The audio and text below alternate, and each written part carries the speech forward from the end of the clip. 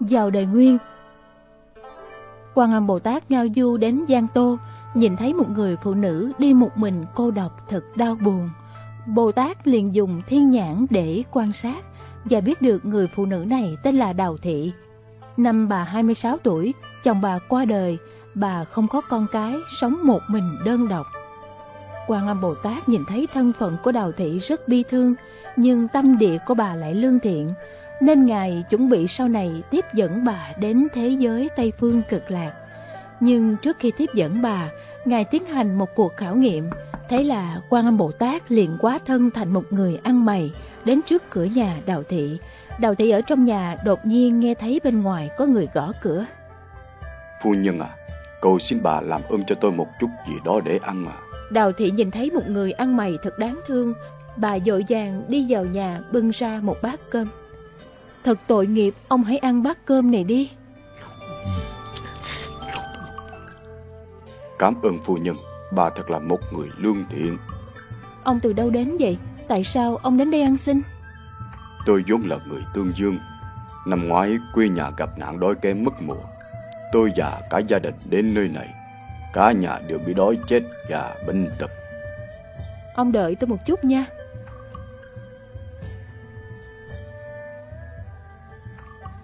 Ông hãy cầm số tiền này để mua sắm đồ đạc trong nhà, đừng đi ăn xin nữa. Cảm ơn bà, phu nhân. Người lương thiện như vậy nhất định sẽ có phước bao.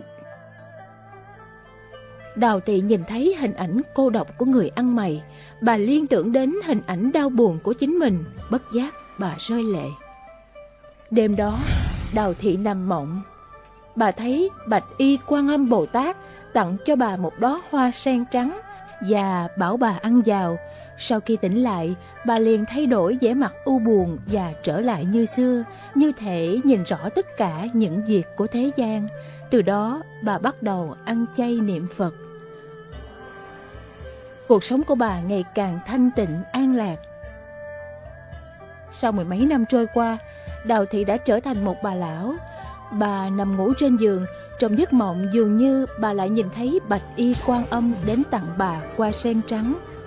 Đào thị bèn mở mắt ra, liền nhìn thấy bạch y quan âm thị hiện chân thật tướng. Đào thị cảm thấy thân của mình nhẹ nhàng hơn trước rất nhiều. Bà dội vàng từ trên giường bước xuống khấn đầu hướng đến ngài quan âm Bồ Tát mà hành lễ. Đại từ đại bi quan thế âm Bồ Tát hiển linh rồi. Đào thị, ta đã từng hiện thân ra là một người ăn xin đến để khảo nghiệm bà, xem tâm bà liệu có tâm niệm thiện hay không. Bà đã vượt qua khảo nghiệm, hôm nay thời hạn của bà đã đến, ta đặc biệt đến tiếp dẫn bà trước giảng sanh, đến thế giới Tây Phương cực lạc. Đa tạ quan âm Bồ Tát. Lúc này, hai người hàng xóm đẩy cửa vào, nhìn thấy đào thị nằm trên giường, nét mặt tươi cười, trên gương mặt không chút gì lo sợ và hối tiếc cả. Đại từ Đại Bi Quan Thế Âm Bồ Tát, Đại từ Đại Bi Quan Thế Âm Bồ Tát. Không lâu sau, Đào Thị liền rời bỏ thế gian. Những người hàng xóm sau khi nhìn thấy Đào Thị giảng sinh, toàn thân sắc vàng óng ánh, trên thân tỏa ra mùi thơm hương đàn, mọi người liền quỳ xuống hành lễ.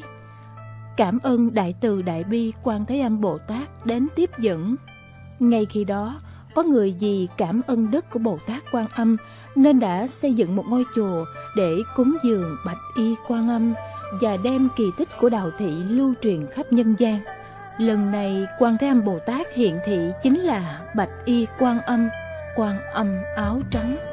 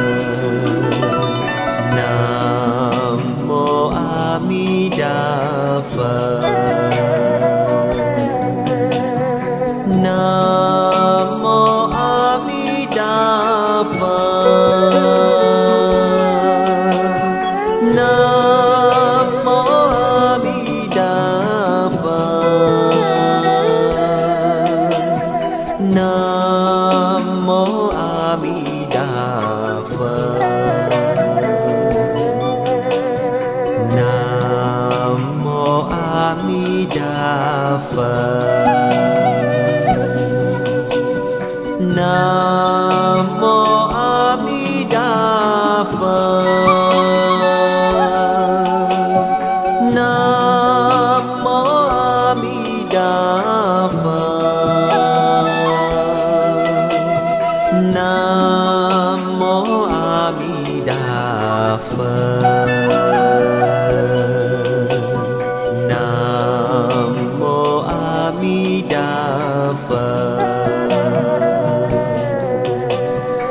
Nam Mô A Di Đà Phật